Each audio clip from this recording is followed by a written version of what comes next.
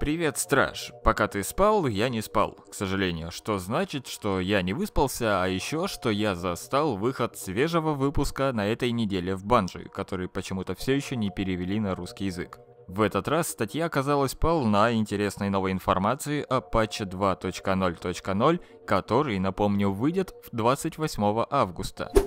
Ты на канале Triple Vibe, меня зовут Джонни Лейни, и сейчас мы поговорим о самом интересном. Но сначала, вот карта новой орбиты. Новые локации, спутанные берега и город грез расположились в правой части. Новый режим Гамбит отображается как плейлисты налетов и горнила, а рейд Левиафан и вовсе убран с экрана орбиты. Вероятно, он спрятан в меню просмотра планеты Нес. Полюбовались? Теперь к изменениям. Заранее говорюсь, большая часть названных изменений будет доступна всем игрокам бесплатно. Другая часть входит в дополнение отвергнутые. Я буду называть при перечислении новых фишек, какие из них достанутся только при покупке DLC. Это крупномасштабное обновление игры, изменение экономики, баланса, ивентов, правил игры в некоторые режимы. В общем, нормальная такая работа над ошибками, которую ждали все фанаты серии. Да там даже наконец-то систему коинов убирают.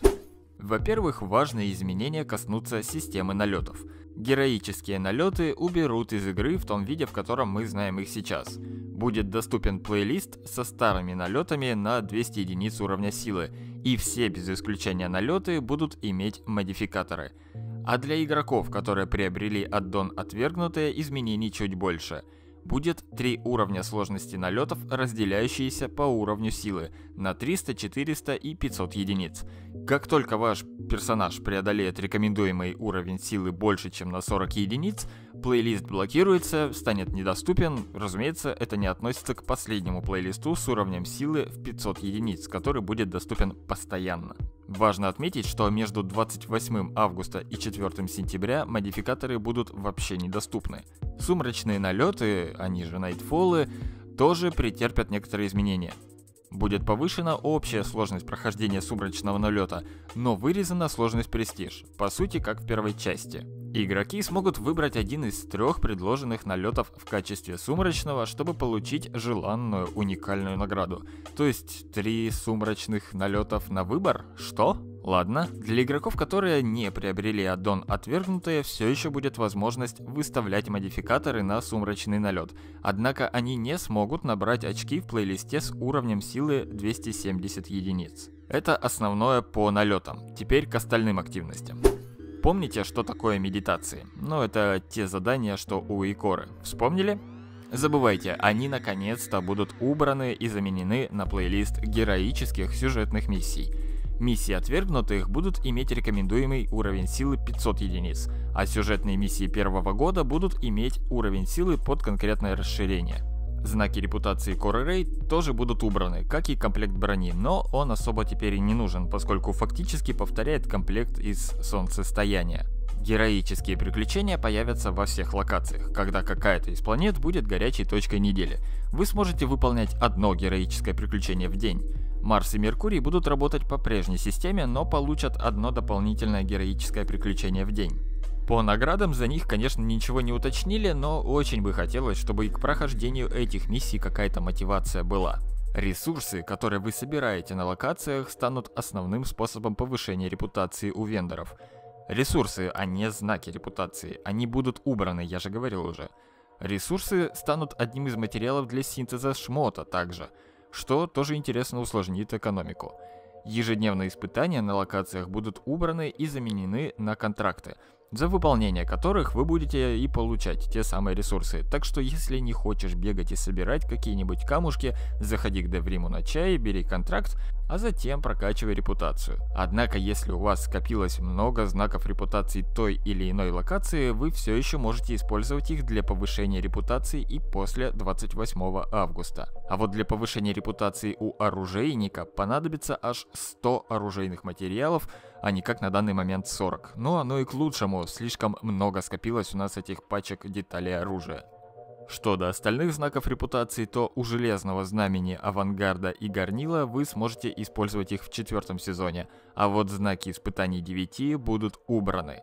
Также 28 августа в игру будут добавлены контракты Everves. За каждую открытую яркую энграмму вы будете получать записку контракта. Вы сможете обменять эти записки на получение контрактов, которые будут иметь три уровня. Первый уровень — это одна записка и награда за выполнение 20 яркой пыли. Второй уровень — это три записки и 70 яркой пыли в награду. Ну а за третий уровень это потребует 6 записок, но даст 150 яркой пыли. Вы сможете выполнять только по одному контракту каждого уровня одновременно. Сами эти контракты пропадут спустя 7 дней после его активации, но будут обновляться каждую неделю. В течение этого времени вы сможете выполнять их сколько угодно раз.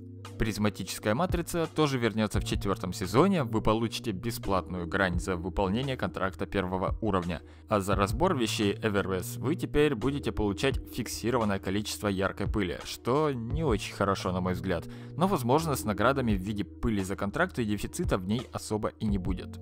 Яркая энграмма получит новый ассортимент, орнаменты на легендарное оружие, голографическая проекция над призраком, типа вот как это, а вот модификаторы перестанут падать, что и логично, их место займут записки к контрактам.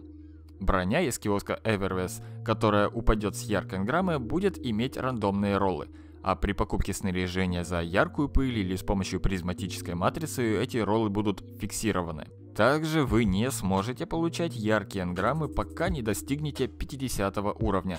Зато после достижения максимального уровня вы получите подарок, который будет содержать сразу несколько ярких энграмм. Ну и абсолютно весь ассортимент Tess Everest будет доступен в коллекции за яркую пыль, кроме брони второго года. Короче, на мой взгляд, тест теперь совсем не за что упрекнуть в навязывании доната. Очередной важный шаг сделан навстречу нормальной системе торговки, благодаря которой шмот из ее ассортимента можно либо быстро за донат получить, либо на опыте вытащить без вложений. Ну и теперь еще кое-что. Ивенты испытания 9 и гонка фракций будут недоступны в четвертом сезоне. Банжи полностью перерабатывают эти мероприятия и пообещали сделать их возвращение куда более значимым и в лучшем виде – вот, например, по гонке фракции разработчики прокомментировали фидбэк игроков о том, что ивент стал слишком хардкорным, и игроки зачастую будто бы вынуждены принимать участие в каждом мероприятии. Что до ваших оставшихся знаков фракций, они будут недействительными. А если вы не выбили какой-то катализатор от фракции на гравитоновое копье, солнечный выстрел или милое дело, то банжи пообещали, что придумают способ, как получить их вне фракционных разборок. Кстати, а с 14 по 21 стартует Железное Знамя. Режим контроль, но теперь мы будем захватывать не флаги, а вот такие вот жаровни. Смотрится очень даже в духе Железных Лордов. Также будет действовать новое правило Power Play, по которому при захвате всех трех точек они блокируются на 20 секунд и отвоевать их невозможно. Затем все три зоны сбрасываются до нейтральных, и их нужно будет захватывать вновь.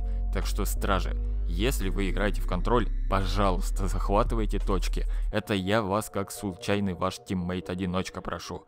Ну а на этом пока все. Вот такие новости. Спасибо за просмотр. А говорюсь еще, что у русскоязычных игроков снова есть шанс собраться вместе на небольшой уютной сходке в хорошей компании. Завтра, в субботу в 4 часа в баре Медпапец, город Москва. Это уже традиционное место, подробности оставлю в описании под видео. Я, безусловно, буду рад встретить там своих подписчиков, так что приходите и проводите время с командой единомышленников. Надеюсь, увидимся. Не забудьте подписаться на канал, поставить лайк к видео и счастливо!